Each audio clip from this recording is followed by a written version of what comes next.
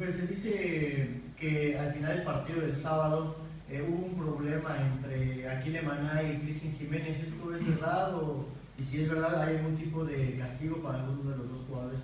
Mira, como te repito, la vez pasada también comentaron eso de la, eh, la falta de haber ido a la banca.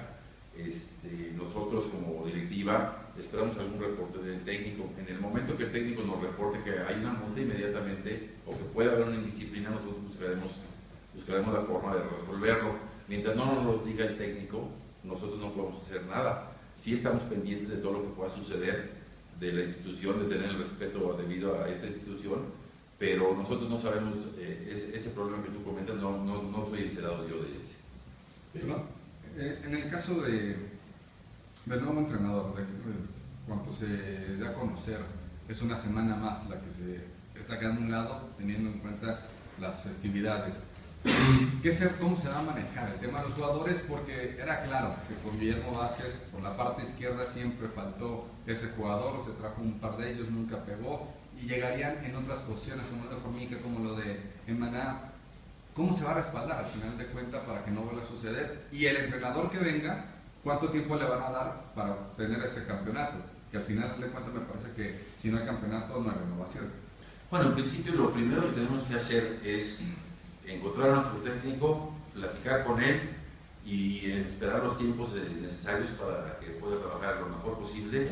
Y veremos que el, tiempo nos dirá qué, respuesta tendrá nuestro técnico. Y, y, sobre esa base irnos, no podemos adelantarnos a un futuro ni, ni poner ahorita una, un, una fecha exacta, pero lo que hacemos nosotros es darle la oportunidad al técnico de trabaje como trabajó Memo con tal profesionalismo que nos pueda en un momento dado ayudar a, conseguir lo que necesitamos. ¿Profe, le surge, el técnico?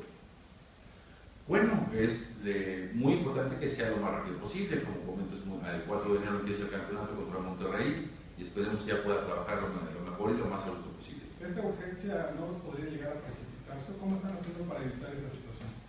No, este, nosotros iniciamos esta temporada, tenemos 10 eh, días de descanso, eh, no, no creo que se pierda mucho como físico, que es lo importante en el equipo, que estén eh, lo más rápido posible nuevamente para poder enfrentar el partido. Y técnicamente, bueno, ya sabrá eh, la, el, la, forma de jugar del nuevo técnico, pues ya empezarán ellos a trabajar lo más rápido posible. Esperemos que ya el día 11 que venga el equipo a trabajar, el 11 de diciembre, ya esté el técnico para que pueda realizar su trabajo. Debe de haber pocos cambios Tú sabes que es un tiempo muy corto, no hay este, la facilidad de hacer rápido las cosas, perdón, no hay facilidad de hacer demasiados cambios, es un eh, tiempo donde nosotros tenemos que hacer eh, justos movimientos para poder empezar a trabajar. ¿Qué tanto se quiere cambiar? Pues eh, cambiar en qué aspecto? En el equipo. si hubiera el tiempo suficiente, hoy que no lo hay, pero ¿qué tanto se necesita cambiar en plantel? Bueno, el plantel está completo, ustedes saben que tenemos jugadores de mucha, de mucha categoría, el técnico cuando venga sabrá qué movimientos tiene que hacer y buscarlos, ¿verdad? Por las expectativas que, que, se han generado al principio de la campaña, la llegada de gente a nivel internacional, eh, ¿se quedó a deber en este torneo? ¿Fue, fue un fracaso no llegar hasta las últimas instancias? Yo creo que no, si te das cuenta, eh, la temporada pasada nosotros jugamos más partidos que ningún equipo, jugamos dos finales, ganamos una, perdimos la otra, eh, viene este, esta temporada. Normalmente el subcampeón de liga sufre mucho, eh, los números hablan así, de que el segundo lugar siempre cae.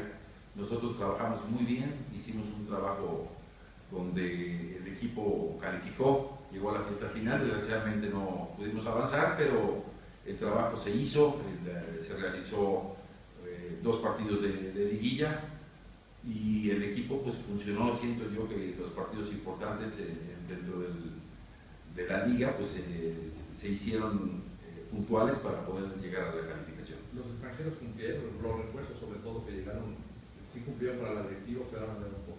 También recuerden que una semana, que en la semana que hubo el draft en, en Cancún, nosotros contratamos a tres jugadores, uno de ellos fue Joao, que hizo un trabajo también muy bueno, metió, metió seis goles y es un jugador que nos dio muchos, muchos partidos.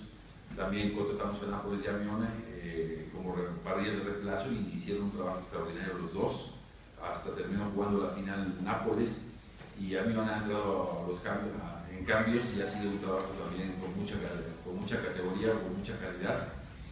Después llegó Hermano, Emaná y llegó Formica, hicieron eh, el esfuerzo, tal vez no se lograron eh, eh, adaptar al 100%, pero son juegos que tienen mucha calidad. Y hay paciencia para ellos dos para que se tengan que adaptar. A- Acuérdate que tenemos que esperar al técnico, también ellos tienen su forma de pensar y tienen que ver y tienen que analizar y tenemos que hablar de todo lo que, de lo que se hizo en la, en la temporada. Pero en lo personal le gustaría que continuara como gerente de formación técnica de todo lo que es Cruz Azul. Sí, a mí me gustan los dos, los dos muchachos, eh, me gusta el grupo, eh, la verdad que los dos jugadores eh, tienen, que dar todavía mucho más, enseñarnos toda su calidad, explotar, porque no tuvieron mucho tiempo, como dice uno de ustedes, llegaron un poquito tarde, pero bueno, vamos a tratar de darles el tiempo, pero repito, vamos a esperar que llegue el, técnico para poder platicar.